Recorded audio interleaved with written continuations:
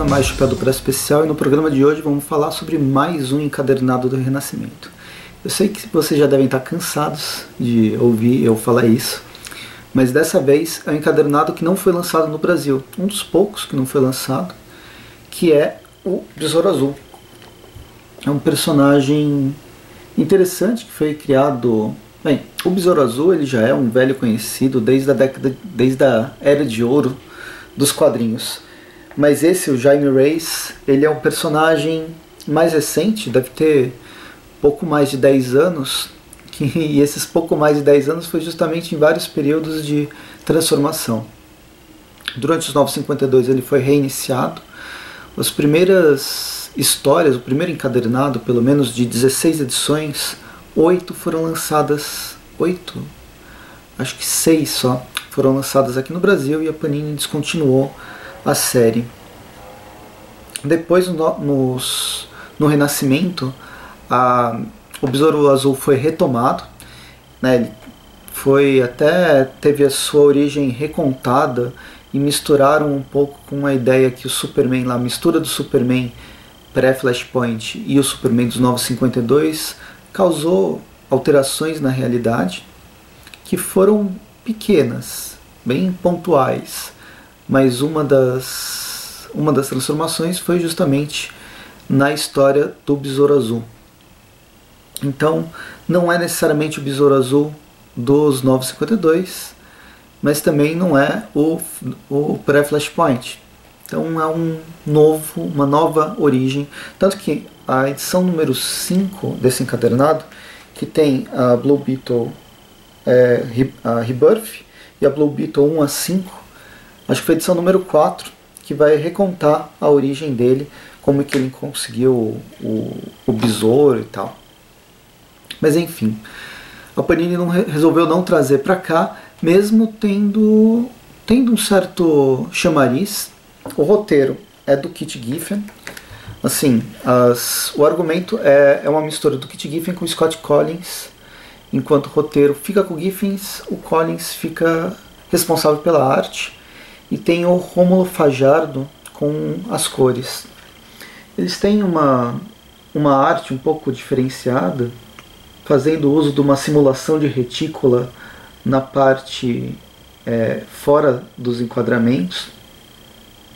Mas não é nada assim, nossa, que arte sensacional, eu vou comprar só por causa disso.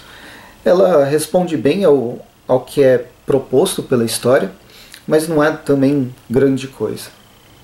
A história é mais ou menos, não é, também não me chamou tanta atenção assim, mais pro final que foi gostando mais. Então, o não lançamento dessa revista no Brasil é compreensível, pelo menos por um lado. Por outro, poxa, a Panini publicou quase tudo do Renascimento é, foi os, o Besouro Azul, só que ela não publicou. E eu não lembro se teve mais uma série que não foi publicada. Poxa, daria para ter lançado, não ia hum, não ia afetar muito o, o, orçamento dela e muita gente ia comprar. Eu ia ser uma das pessoas que ia ter comprado essa revista. Ela durou 16 números, no 18 números nos Estados Unidos, ou seja, em três encadernados fechava sendo que o primeiro e o segundo tem o Kit Kiffin. Depois é, essa equipe criativa sai e a história toma um outro rumo. Então, ok, pelo menos os primeiros dois encadernados seria interessante.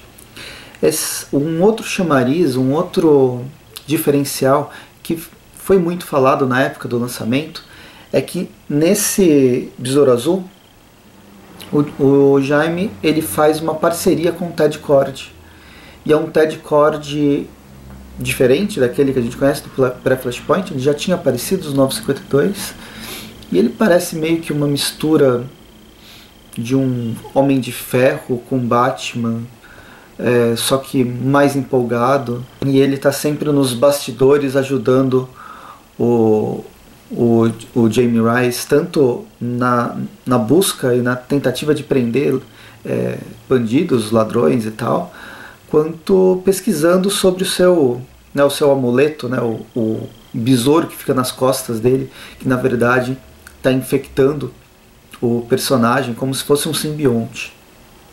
Então eles têm ele acaba tendo esse duplo papel. Interessante assim que mescla a ideia de mentor com a ideia de parceria mesmo. Em paralelo a tudo isso, a gente ainda tem o Doutor, o Senhor Destino. Eu sempre troco o, o nome dos, desse personagem porque ele acaba se confundindo com os personagens da Marvel e tal. Mas ele ele aparece aqui, é responsável até pela origem do personagem, e ele traz um elemento mágico para o besouro que até então era tecnológico.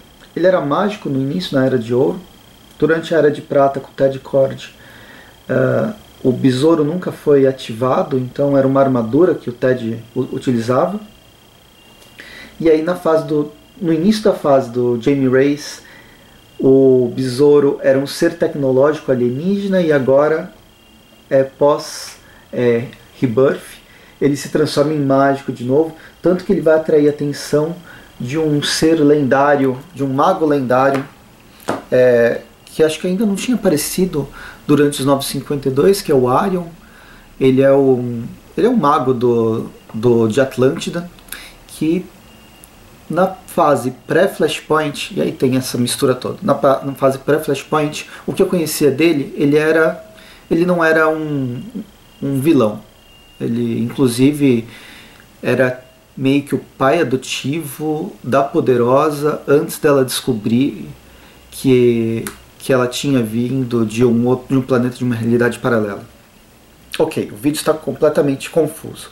O Arion, nesse caso, é um mago de Atlântida que vai aparecer agora em Metal número 5, né, na última edição de Metal do Batman. Voltando para o Ted Cord, esse Arion aparece justamente para dar essa, essa ideia de, de um item mágico do besouro. O, ele vai lutar contra o Doutor Destino e esse é um outro plot que se desenvolve tudo em paralelo. Nessa mescla de várias referências e várias participações especiais, a gente ainda tem o OMAC, a Liga da Justiça, o Batman, que vai aparecer não nesse primeiro encadernado, mas a, a partir do segundo, onde o, o desenvolvimento do mega plot que o Kit Giffen queria apresentar, ele realmente engata. A, essa, a história, no fim, uh, essas primeiras seis edições, elas são um pouco lentas. Para mim, demorou muito para eu gostar. É um processo de apresentação de personagem, apresentação de ambientação, esse, essa ideia do, do besouro ser um simbionte ou tentar dominar o, o, o Jamie, é, ela é pontuada bem aos poucos, mostrando mais quando o Ted Cord fala, putz, não dá para tirar esse esse besouro sem matar o hospedeiro, ou seu destino falando, é, a gente tem que matar, os, matar o, o Jamie porque ele está destinado a matar um monte de gente. Então, se a gente destruir ele, é destruir uma pessoa ao invés de deixar que um milhão de pessoas morram. Mas isso é, é completamente diluído na apresentação de todos os outros personagens, inclusive de um mega, de um supergrupo, uma gangue de adolescentes que poderia ser interessante. Eu achei os poderes legais, uma é, imaginação para poderes legais, como a Blur, que é uma teletransportadora, tem o Root, que é um homem-planta que parece muito, ele é o líder do grupo e parece muito o Groot do, dos Guardiões da Galáxia. Mas a gente não sabe nada sobre eles, nenhum deles foi desenvolvido além de alguns nomes ou algumas linhas de, de diálogo. Enfim, esse aqui é o encadernado do Besouro Azul do Renascimento. Eu não sei se eu ajudei muito falando sobre ele. É, minha impressão sobre a história, ela é, um, é, o que eu disse, ela tem um desenvolvimento tão lento que você não empolga até chegar na última, na última edição, que é um gan, no fim é um gancho para o próximo encadernado. Talvez poderia ter sido é, menor, poderia ter ido direto ao ponto, ou pelo menos de seis edições, diminuir é, para três para pegar o envolvimento do leitor. Mas enfim, é, essa lentidão acabou prejudicando no desenvolvimento da história. A arte é ok, ela não chama tanta atenção, mas responde bem ao que ao que está proposto na história e várias participações especiais. Vocês querem ver quase que o universo DC inteiro com referências desde a Era de Ouro até a era mais moderna dos Novos 52, dá para ler esse primeiro encadernado e o segundo também, que vai corresponder a todo um, uma bela de uma pincelada de todo o universo DC. Então é isso, espero que tenham gostado do vídeo, curtam o vídeo, assinem o canal, compartilhem e comentem. Vocês leram essa, essas histórias do, do Besouro Azul, do Renascimento? Leram o Besouro Azul no, nos 952? Eu li o primeiro encadernado, tinha gostado, mas acabou por aí e não cheguei a ler o final da, da história, né, os outros dois encadernados que a Panini nem chegou a lançar aqui. Ou mesmo o Ted Cord, tem saudade do, da dupla Ted e Gladiador Dourado, comentem aqui, a gente conversa nos comentários e até mais e bons quadrinhos.